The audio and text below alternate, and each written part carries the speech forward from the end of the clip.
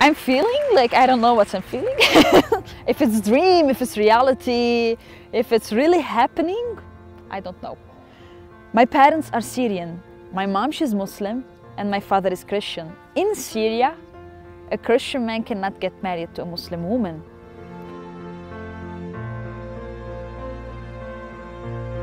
It was this sad reality, the sad life that I was living and I was always trying to find solution. I was trying always to find my identity and my existence.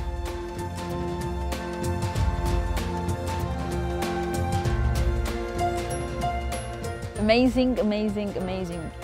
I was walking on the street freely.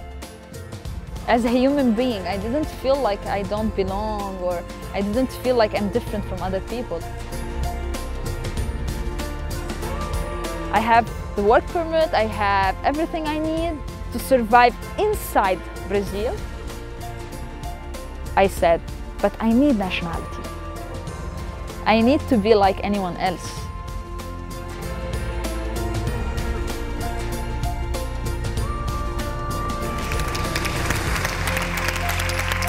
This is my life dream coming true.